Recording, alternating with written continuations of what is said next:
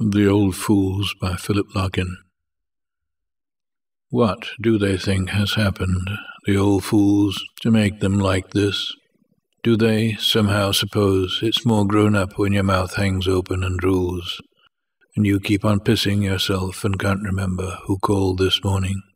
Or that, if they only chose, they could alter things back to when they danced all night, or went to their wedding, or sloped arms some September?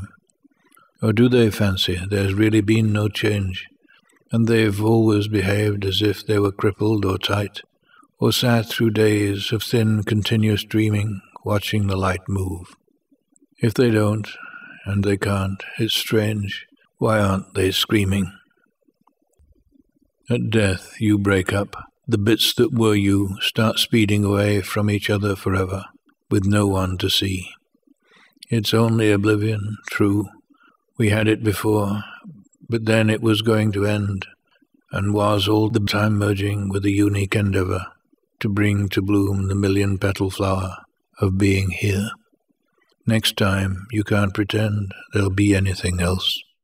And these are the first signs, not knowing how, not hearing who, the power of choosing gone. Their looks show that they're for it, ash hair, toad hands, prune face, dried into lines. How can they ignore it? Perhaps being old is having lighted rooms inside your head, and people in them acting people you know, yet can't quite name.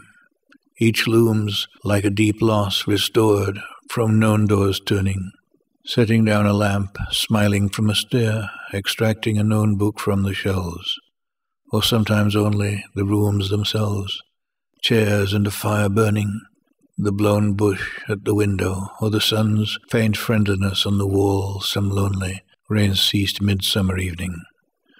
That is where they live, not here and now, but where all happened once.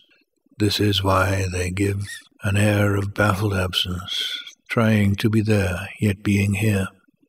For the rooms grow farther, leaving incompetent cold, the constant wear and tear of taken breath, and them crouching below extinction's alp, the old fools, never perceiving how near it is. This must be what keeps them quiet, the peak that stays in view wherever we go, for them is rising ground. Can they never tell what is dragging them back and how it will end? Not at night, not when the strangers come never throughout the whole hideous, inverted childhood. Well, we shall find out.